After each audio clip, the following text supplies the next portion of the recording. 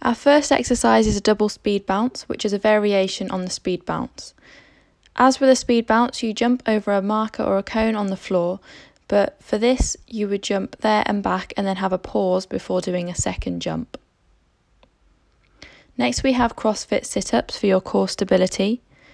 You'll lie on the floor lying on your back with your legs bent and the feet soles will be touching. Then go from a sit up position with your hands above your head and do a sit up to touch your feet and then back again.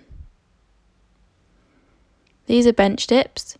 Sit on a bench or a chair and push up using your arms, keeping your body in a straight line as you do so. Your legs will be out straight in front of you. You can slow this down as I've done here if you find this easier. Next we've got reverse lunges. You take a large step backwards and alternate each leg each time. The back knee will bend and then you return to standing after each repetition. I will then demonstrate this from the side angle so you can see how this looks from the back. If you find this difficult, take a smaller step backwards like this. And then you can increase the size of the step as it gets easier. Next we have back support, which will work on your balance and also your core, which you should engage throughout this. You should keep your body in a straight line throughout and push your hips upwards.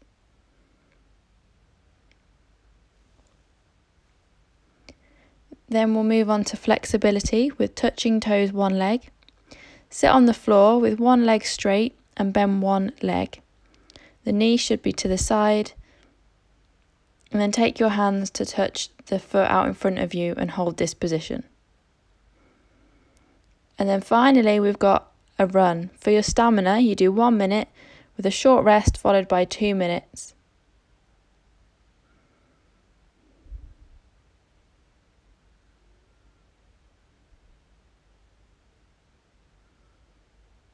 The idea is to keep this going throughout the time. And then if you want to see more videos, check out our page at Gymrun. Our YouTube has more content and videos for you to check out each week.